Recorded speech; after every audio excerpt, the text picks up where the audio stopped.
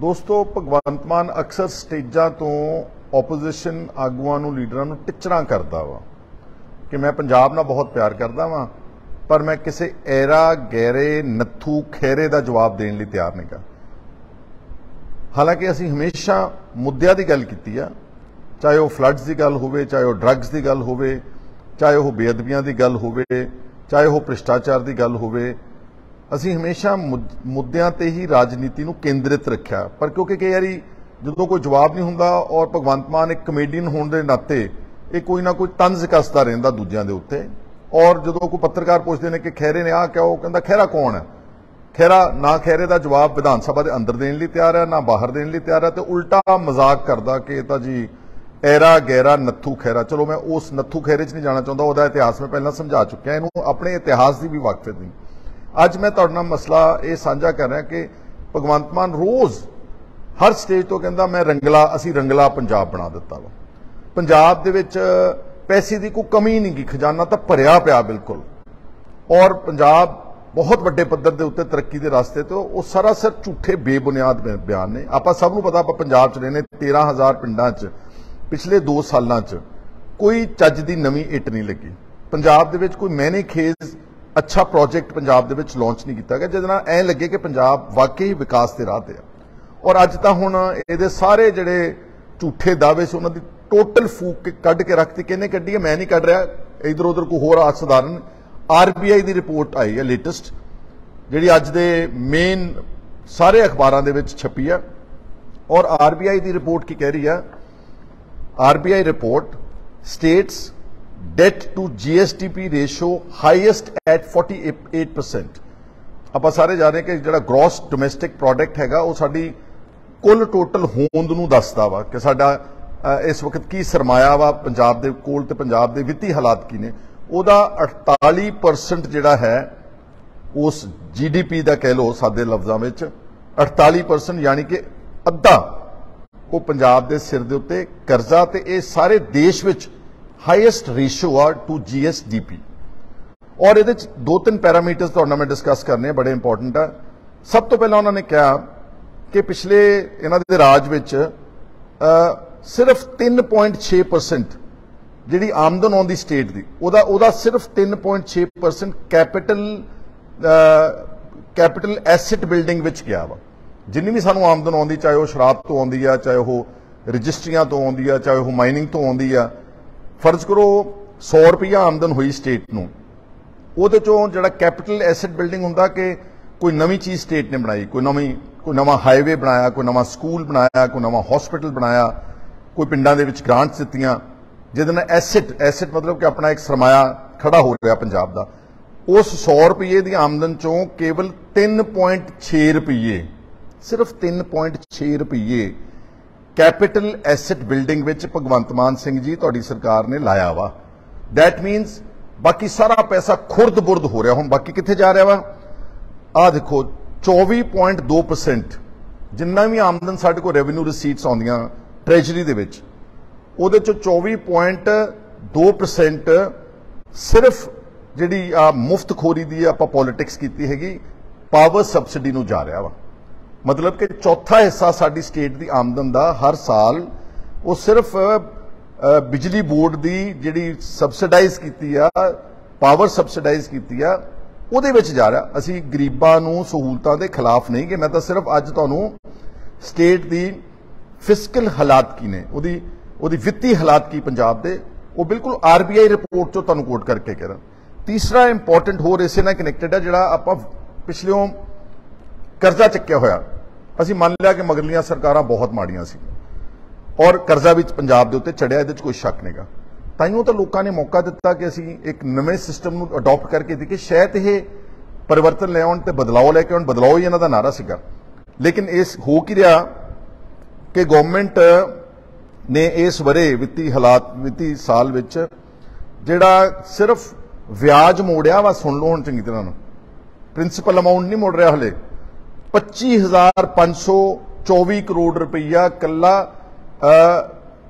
repayment of interest on loans ਆ, ਆਹ ਲਾਲ ਦੇ ਵਿੱਚ ਲਾਸਟ ਕਾਲਮ ਜਿਹੜੀ ਆ, ਉਹ ਇਹ ਆ।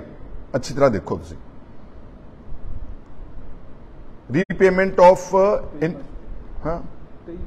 Rate of repayment of interest 23524 crore ਰੁਪਏ। ਛੋਟਾ ਜਿਹਾ ਐਰਰ ਹੁੰਦਾ।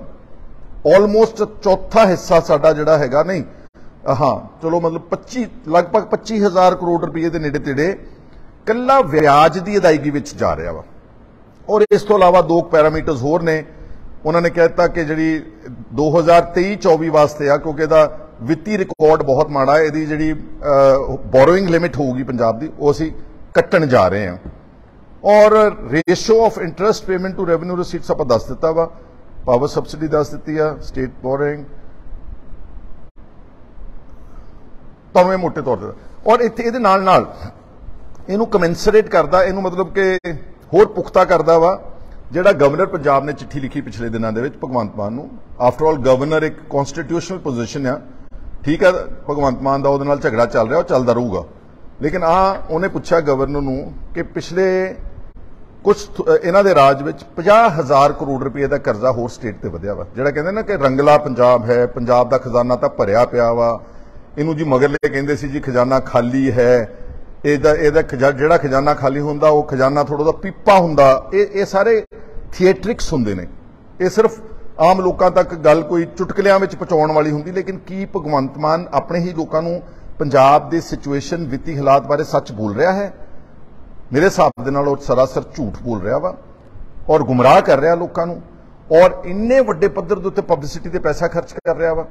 ਸਨਤਕਾਰਾਂ ਦੀ ਮੀਟਿੰਗ ਅੰਮ੍ਰਿਤਸਰ ਹੋਵੇ, ਸਾਰੇ ਪੰਜਾਬ ਦੇ ਵਿੱਚ ਬੋਰਡ ਲੱਗ ਜਾਂਦੇ, ਲੁਧਿਆਣੇ 'ਚ ਹੋਵੇ, ਸਾਰਾ ਸ਼ਹਿਰ ਭਰ ਜਾਂਦੇ ਨੇ। ਮੋਹਾਲੀ ਦੇ ਵਿੱਚ ਹੋਵੇ, ਤਾਂ ਤੁਸੀਂ ਦੇਖਿਆ ਤੁਹਾਡੇ ਕੋਲ ਵੀਡੀਓਜ਼ ਆ ਗਈਆਂ ਕਿ ਕੋਈ ਕੋਈ ਬਿਜਲੀ ਦਾ ਖੰਭਾ ਨਹੀਂ ਛੱਡਿਆ, ਕੋਈ ਪੁਲ ਨਹੀਂ ਛੱਡਿਆ, ਕੋਈ ਹੋਰ ਜਗ੍ਹਾ ਨਹੀਂ ਛੱਡੀ, ਜਿਹੜਾ ਸਗੋਂ ਪਲਾਸਟਿਕ ਇੱਕ ਐਂਟੀ এনवायरमेंट ਇਸ ਵਕਤ ਦੁਨੀਆ ਭਰ 'ਚ ਮੰਨਿਆ ਗਿਆ। ਬਹੁਤ ਸਾਰੇ ਦੇਸ਼ਾਂ ਆਪਣੇ ਸੂਬਿਆਂ ਨੇ, ਹਿਮਾਚਲ ਪ੍ਰਦੇਸ਼ ਨੇ ਬੰਦ ਕੀਤਾ ਹੋਇਆ। ਲੇਕਿਨ ਇਹ ਬਦਲਾਓ ਪਾਰਟੀ ਜਿਹੜੀ ਆ, ਇਹਨਾਂ ਨੇ ਸਾਰਾ ਪੰਜਾਬ ਪਲਾਸਟਿਕ ਦੇ ਫਲੈਕਸ ਬੋਰਡ ਲਾ ਲਾ ਕੇ ਭਰ ਦਿੱਤਾ ਵਾ। ਅਖਬਾਰਾਂ ਭਰ ਦਿੱਤੀਆਂ ਨੇ। ਦੇਸ਼ ਵਿੱਚ ਦੂਜੇ ਥਾਵਾਂ ਤੇ ਪਬਲਿਸਿਟੀ ਕਰਕੇ ਕਹਤਾ, ਸਾਡਾ, ਅਸੀਂ ਤਾਂ ਜੀ ਰੰਗਲਾ ਪੰਜਾਬ ਬਣਾਤਾ। ਹੁਣ ਰਹਿੰਦੇ ਤਾਂ ਆਪਾਂ ਇੱਥੇ। ਕੀ ਪੰਜਾਬ ਵਾਕਈ ਹੀ ਰੰਗਲਾ ਹੈ? ਇਮਾਨਦਾਰੀ ਨਾਲ। ਜਿਹੜੇ ਝਾੜੂ ਦੇ ਵਰਕਰਸ ਨੇ, ਮੈਂ ਤੁਹਾਨੂੰ ਪੁੱਛਣਾ ਚਾਹੁੰਦਾ ਕਿ ਤੁਸੀਂ ਦੱਸ ਦਿਓ ਤੁਹਾਡੇ ਪਿੰਡ ਵਿੱਚ ਪਿਛਲੇ ਆਪਣੇ ਆਪਣੇ ਪਿੰਡ ਵਿੱਚ ਰਿਸਪੈਕਟਿਵਲੀ ਕਿੰਨੇ ਕੁ ਵਿਕਾਸ ਦੇ ਕਾਰਜ ਖੋਲੇ ਗਏ ਨੇ? ਕਿੰਨੇ ਨਵੇਂ ਸਕੂਲ ਬਣਾਏ ਗਏ ਨੇ? ਕਿੰਨੇ ਨਵੇਂ ਹਸਪੀਟਲਸ ਜਿਹੜੇ ਕ੍ਰੀਏਟ ਕੀਤੇ ਗਏ ਨੇ that is called capital asset building ਤੇ ਜੇ ਆਪਾਂ ਇਦਾਂ ਹੀ ਮਸ਼ਕਰਿਆਂ ਵਾਲੀ ਪੋਲਿਟਿਕਸ ਕਰਨੀ ਆ, ਤੇ ਐਵੇਂ ਲੋਕਾਂ ਨੂੰ ਝੂਠੋ ਝੂਠੀ ਤੁਰੇ ਜਾਣਾ ਵਾ, ਤੇ ਮੁਫਤਖੋਰੀ ਦੀ ਰਾਜਨੀਤੀ ਕਰਨੀ ਆ, ਤਾਂ ਫਿਰ ਪੰਜਾਬ ਜਿਹੜਾ ਵਾ, ਉਹ ਕਦੀ ਵੀ ਆਰਥਿਕ ਸੰਕਟ ਚੋਂ ਨਹੀਂ ਨਿਕਲ ਸਕਦਾ। ਲੋਕਾਂ ਨੂੰ ਤਾਂ ਉਮੀਦ ਇਹ ਸੀਗੀ ਕਿ ਇਹ ਕਹਿੰਦੇ ਨੇ ਅਸੀਂ ਬਦਲਾਂਗੇ ਆਣ ਕੇ। ਬਦਲਣ ਦਾ ਤਾਂ ਮਤਲਬ ਇਹ ਸੀਗਾ ਕਿ ਤੁਸੀਂ ਆਪਣੀ ਸਿਚੁਏਸ਼ਨ ਠੀਕ ਕਰਦੇ, ਆਪਣੇ ਖਰਚੇ ਘਟਾਉਂਦੇ। ਤੇ ਖਰਚੇ ਕਿੱਥੇ ਹੋ ਰਹੇ ਨੇ? ਹਜ਼ਾਰ ਹਜ਼ਾਰ ਆਦਮੀ ਸਿਕਿਉਰਿਟੀਆਂ ਤੇ ਚੱਲ ਰਿਹਾ ਵਾ। 2-2 3-3 ਕਰੋੜ ਦੀਆਂ ਲੈਕਸਸ ਗੱਡੀਆਂ ਰਾਘਵ ਚੰਡੇ ਚੱਡੇ ਕਰਕੇ ਦਿੱਤ- ਨੂੰ ਦਿੱਤੀਆਂ ਹੋਈਆਂ ਨੇ। ਔਰ ਕਿੰਨੇ ਵੱਡੇ ਪੱਧਰ ਦੇ ਉੱਤੇ ਜਹਾਜ਼ਾਂ ਦਾ ਦੁਰਉਪਯੋਗ ਹੋ ਰਿਹਾ, ਹੈਲੀਕਾਪਟਰਸ। ਪੰਜਾਬ ਵਰਗੀ ਸਟੇਟ ਨੇ ਹੁਣੇ ਤਾਜ਼ਾ ਇੱਕ 에ਅਰਕ੍ਰਾਫਟ ਫਿਰ ਲੀਜ਼ ਉਹ ਬੇਸਿਕਲੀ ਲੀਜ਼ ਕੀਤਾ ਵਾ, ਅਰਵਿੰਦ ਕੇਜਰੀਵਾਲ ਨੂੰ ਦੇਸ਼ ਦੇ ਵਿੱਚ ਘੁਮਾਉਣ ਵਾਸਤੇ ਕੀਤਾ ਵਾ। ਜਦ ਵੀ ਕਿਤੇ ਕੇਜਰੀਵਾਲ ਨੇ ਕਿਤੇ ਦੇਸ਼ ਵਿੱਚ ਜਾਣਾ ਹੁੰਦਾ ਤੇ ਉਹ ਭਗਵੰਤ ਮਾਨ ਨੂੰ ਸਿਟੀ ਮਾਰ ਕੇ ਬੁਲਾ ਲੈਂਦਾ ਕਿ ਆਈ ਜਰਾ ਦਿੱਲੀ। ਤੇ ਭਗਵੰਤ ਮਾਨ ਨੂੰ ਨਾਲ ਵਿੱਚ ਬਿਠਾਉਂਦਾ ਕਿਉਂਕਿ ਉਸ ਤੋਂ ਬਗੈਰ ਉਸ ਜਹਾਜ਼ ਦਾ ਜਿਹੜਾ ਹੈਗਾ, ਉਹ ਖਰਚਾ ਸਾਰਾ ਕੇਜਰੀਵਾਲ ਨੂੰ ਪੈ ਜਾਂਦਾ। ਇਹਨੂੰ ਨਾਲ ਬਿਠਾ ਲੈਂਦਾ। ਕਦੀ ਚੱਲ ਤਾਮਿਲਨਾਡੂ, ਕਦੀ ਚੱਲ ਬੰਗਲੌਰ, ਕਦੀ ਚੱਲ ਮਹਾਰਾਸ਼ਟਰ, ਕਦੀ ਚੱਲ ਕਿਤੇ ਹੋਰ। ਔਰ ਹੁਣ ਜਿਹੜਾ ਰਾਘਵ ਚੱਡੇ ਦਾ ਵਿਆਹ ਹੋ ਰਿਹਾ, ਉੱਥੇ ਤੁਸੀਂ ਦੇਖ ਲਿਆ? ਖਬਰਾਂ ਆ ਗਈਆਂ ਨਾ ਕਿ ਸ਼ਾਇਦ 30 ਪੰਜਾਬ ਦੇ ਸਬ ਇੰਸਪੈਕਟਰਸ ਉੱਥੇ ਵੇਟਰ ਬਣਾਏ ਹੋਏ ਨੇ। ਉੱਥੇ ਲੋਕਾਂ ਨੂੰ ਉਹਨਾਂ ਦੀ ਖਾਣ ਪੀਣ ਦੀ ਸੇਵਾ ਤੇ ਸਾਡੇ ਪੰਜਾਬ ਪੁਲਿਸ ਦੇ ਸਬ ਇੰਸਪੈਕਟਰਸ। ਔਰ ਸ਼ਾਇਦ ਮੈਨੂੰ ਕੋਈ ਦੱਸਿਆ ਸੀਗਾ ਕਿ 40 ਦੇ ਕਰੀਬ ਨਵੀਆਂ ਜੀਪਸ ਕਢਾਈਆਂ, ਬਲੇਰੋ ਜੀਪ ਸ਼ਰਟ ਕਢਾਈਆਂ ਪੰਜਾਬ ਪੁਲਿਸ ਨੇ। ਡੀਜੀਪੀ ਸਾਹਿਬ ਨੂੰ ਦੇਖਣਾ ਚਾਹੀਦਾ ਵਾ। ਉਹ ਇਹਨਾਂ ਦੇ ਗੈਸਟਾਂ ਨੂੰ ਢੋਆ ਢਵਾਈ ਤੇ ਲਾਈਆਂ ਨੇ। ਔਰ ਐਡੇ ਵੱਡੇ ਪੱਧਰ ਦੇ ਉੱਤੇ ਪੰਜਾਬ ਦੀ ਸਿਕਿਉਰਿਟੀ ਕਮਾਂਡੋਜ਼ ਲੈ ਕੇ ਘੁੰਮ ਰਹੇ ਨੇ ਰਾਜਸਥਾਨ 'ਚ। ਰਾਜਸਥਾਨ ਜਿਹੜੇ ਕਹਿੰਦੇ ਸੀ, ਹਮ ਤੋਂ ਸਾਦੇ ਸੇ ਆਦਮੀ ਹੈ, ਹਮ ਤੋਂ ਘਰ ਨਹੀਂ ਲੈਂਗੇ ਹਮ ਤੋਂ ਗਾੜੀ ਨਹੀਂ ਲੈਂਗੇ ਘੱਟੋ ਘੱਟ ਸਾਡਾ 100 ਪੰਜਾਬ ਦਾ 6 ਫੁੱਟ 4 ਇੰਚ ਜਵਾਨ ਕਮਾਂਡੋ ਸਿੱਖ ਜਿਹੜੇ ਨੇ, ਉਹ ਇਹਨਾਂ ਦੇ ਮਗਰ ਫਿਰਦੇ ਨੇ। ਇਹਨਾਂ ਦੀ ਰਾਖੀ ਕਰਨ ਵਾਸਤੇ। ਜਦ ਕਿ ਪ੍ਰੋਟੋਕਾਲ ਕਹਿੰਦਾ ਕਿ ਜਦੋਂ ਕੋਈ ਵੀ ਚੀਫ ਮਿਨਿਸਟਰ ਜਾਂ ਕੋਈ ਵੀ ਡਿਗਨਿਟਰੀ ਕਿਸੇ ਹੋਰ ਸਟੇਟ ਵਿੱਚ ਵਿਜ਼ਿਟ ਕਰਦਾ, ਉਹਨੂੰ ਜਿਹੜਾ ਜਿਹੜੀ ਕੈਟੇਗਰੀ ਦਾ ਉਹ ਸਿਕਿਉਰਿਟੀ ਦਾ ਬਸ਼ਿੰਦਾ ਹੁੰਦਾ, ਉਹਨੂੰ ਉੱਥੇ ਉਹ ਸਟੇਟ ਪ੍ਰੋਵਾਈਡ ਕਰਦੀ। ਫਰਜ਼ ਕਰੋ Z+ ਸਿਕਿਉਰਿਟੀ ਆ ਕੇਜਰੀਵਾਲ ਕੋਲ, ਜਾਂ Z ਸਿਕਿਉਰਿਟੀ ਹੈਗੀ ਆ ਭਗਵੰਤ ਮਾਨ ਕੋਲ। ਉਹ ਰਾਜਸਥਾਨ ਦੀ ਸਰਕਾਰ ਦੀ ਜ਼ਿੰਮੇਵਾਰੀ ਕਿ ਉਹਨਾਂ ਨੇ ਉੱਥੇ ਇਹਨੂੰ ਅਪਰੋਪਰੀਏਟ ਸਿਕਿਉਰਿਟੀ ਪ੍ਰੋਟੋਕਾਲ ਅਨੁਸਾਰ ਮੁਹੱਈਆ ਕਰਾਉਣੀ, ਪਰ ਉਹਦੇ ਨਾਲ ਖੁਸ਼ ਨਹੀਂ ਗਏ। ਇਹ ਸਾਡੀ ਪੰਜਾਬ ਦੀ ਇੱਥੋਂ ਹੋਰ ਲੱਦ ਕੇ ਨਾਲ ਲੈ ਜਾਂਦੇ ਨੇ। Gross misuse of Punjab police ਔਰ gross misuse of Punjab public exchequer ਔਰ ਇਸੇ ਕਰਕੇ ਪੰਜਾਬ ਦੇ ਸਿਰ ਪਿਛਲੇ ਇਹਨਾਂ ਦੇ ਰਾਜ ਵਿੱਚ 50000 ਕਰੋੜ ਰੁਪਏ ਦਾ ਕਰਜ਼ੇ ਵਿੱਚ ਵਾਧਾ ਹੋਇਆ। ਅਗਰ ਇਹ ਸਪੀਡ ਨਾਲ ਚੱਲਣਗੇ, ਉਹ ਦਿਨ ਦੂਰ ਨਹੀਂਗਾ ਜਦ ਇਹ ਰਾਜ ਛੱਡ ਕੇ ਜਾਣਗੇ ਤਾਂ ਸਾਡੇ ਸਿਰ ਦੇ ਉੱਤੇ 5 ਲੱਖ ਕਰੋੜ ਰੁਪਏ ਦਾ ਕਰਜ਼ਾ ਹੋ ਠੀਕ ਆ, ਵੋਟਾਂ ਲੈਣ ਵਾਸਤੇ ਤੁਸੀਂ ਲੋਕਾਂ ਨੂੰ ਨਾਰੇ ਲਾਉਣੇ ਹੋ। ਔਰ ਮੈਂ ਇਸ ਗੱਲ ਦਾ ਮੁਦਈ ਆ ਕਿ ਸੋਸ਼ਲ ਵੈਲਫੇਅਰ ਸਕੀਮਸ ਚੱਲਣੀਆਂ ਚਾਹੀਦੀਆਂ ਨੇ। ਬੁਢਾਪਾ ਪੈਨਸ਼ਨ ਚੱਲਣੀ ਚਾਹੀਦੀ ਹੈ ਅੰਗਹੀਨਾਂ ਨੂੰ ਮਦਦ ਹੋਣੀ ਚਾਹੀਦੀ ਹੈ, ਗਰੀਬਾਂ ਦੇ ਘਰਾਂ ਦੇ ਵਾਸਤੇ ਮਦਦ ਹੋਣੀ ਚਾਹੀਦੀ ਹੈ। ਜਾਂ ਹੋਰ ਜਿਹੜੇ ਇਦਾਂ ਦਾ ਵਰਗ ਹੈ ਜਿਹੜਾ, ਉਹਨਾਂ ਨੂੰ ਉਹਨਾਂ ਨੂੰ ਮਦਦ ਕਰਨ ਵਿੱਚ ਕੋਈ ਹਰਜ ਨਹੀਂਗਾ ਕਿ ਕੀ ਅਸੀਂ ਸਭ ਕੁਝ ਹੀ ਲੁਟਾ ਦੇਣਾ ਵਾ। ਤੇ ਸਾਰੀ ਸਾਡੀ ਆਮਦਨ ਮਹਿਜ਼ ਦੋ ਗੱਲਾਂ ਵਿੱਚ ਜਾ ਰਹੀ ਹੈ, ਜਾਂ ਤਾਂ ਜਾ ਰਹੀ ਹੈ ਕਰ ਇੰਟਰਸਟ ਪੇਮੈਂਟ ਵਿੱਚ ਵਿਆਜ ਦੀ ਅਦਾਇਗੀ ਵਿੱਚ ਲੰਘੀ ਜਾਂਦੇ ਹਲੇ ਪ੍ਰਿੰਸੀਪਲ ਅਮਾਉਂਟ ਉੱਥੇ ਹੀ ਖੜਾ ਵਾ, ਜਿਹੜਾ ਅਸਲ ਮੂਲ ਹੈ ਉੱਥੇ ਹੀ ਖੜਾ ਵਾ। ਤੇ ਕੀ ਦੂਜਾ ਹੈਗਾ ਕਿ ਅਸੀਂ ਜਿਹੜਾ ਮੁਫਤਖੋਰੀ ਦੀ ਰਾਜਨੀਤੀ, ਉਹ ਸਾਰਾ ਪਾਵਰ ਸਬਸਿਡੀ ਨੂੰ ਬਿੱਲ ਜਾਂ ਹੋਰ ਜਿਹੜੀਆਂ ਸਕੀਮਾਂ ਜਾ ਰਹੀਆਂ, ਉਹਦੇ ਵਿੱਚ ਚੱਲ ਜਾਵੇਗਾ। ਤੇ ਫਿਰ ਮੈਨੂੰ ਇਹ ਦੱਸੋ ਕਿ ਬਾਕੀ ਦੇਸ਼ ਦੇ ਰੱਦੀ ਪੋਲੀਟੀਕਲ ਸਿਸਟਮ ਤੋਂ ਕੇਜਰੀਵਾਲ ਨੇ ਤੇ ਭਗਵੰਤ ਮਾਨ ਨੇ ਨਵਾਂ ਕੀ ਕੱਢਿਆ ਵਾ? ਇਹ ਦੱਸ ਦਿਓ ਮੈਨੂੰ ਤੁਸੀਂ। ਇਹਦੇ ਵਿੱਚ ਬਦਲਾਅ ਵਾਲੀ ਕੀ ਗੱਲ ਹੈਗੀ? ਮੈਨੂੰ ਸਮਝਾ ਦਿਓ ਤੁਸੀਂ। ਔਰ ਇਹਦੇ ਵਿੱਚ ਪੰਜਾਬ ਜਿਹੜਾ ਇਸ ਵਕਤ ਜਿਹੜੇ ਹਾਲਾਤਾਂ ਵਿੱਚੋਂ ਗੁਜ਼ਰ ਰਿਹਾ, ਇਹਦੇ ਵਿੱਚ ਰੰਗਲਾ ਕੀ ਹੈਗਾ ਵਾ?